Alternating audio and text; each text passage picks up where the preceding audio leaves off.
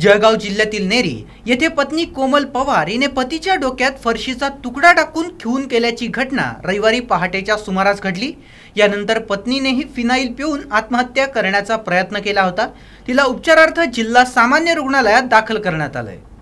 अचानक मानसिक संतुलन बिघडल्यानं पत्नीनं हे कृत्य केल्याचं नातेवाईकांनी सांगितलं. डोक्याच्या मागील बाजूस हल्ला करीत चेहऱ्यावर वार केल्यानं पती संदीप यांची कवटी फुटली. यात डोक्याला गंभीर दुखापत झाल्यानं पती संदीप उत्तम पवार याचा रुग्णालयात नेत असताना मृत्यू झाला. तर पत्नी कोमल हिच्यावर जिल्हा रुग्णालयात उपचार सुरू आहेत. कोमली सात महिन्यांची गरोदर आहे आणि याच आठवड्यात ती माहेरी गेली होती. तिचे वडील विठ्ठल देवरे यांचाही काही वर्षांपूर्वी खून झाल्याची माहिती नातेवाईकांनी दिली आहे. आगामी काळात होणाऱ्या लोकसभा निवडणुकीच्या पार्श्वभूमीवर भाजप जिल्हा महानगरतर्फे शहरातून विजय संकल्प बाईक रॅली रविवारी भाजप कार्यालयातून काढण्यात आली.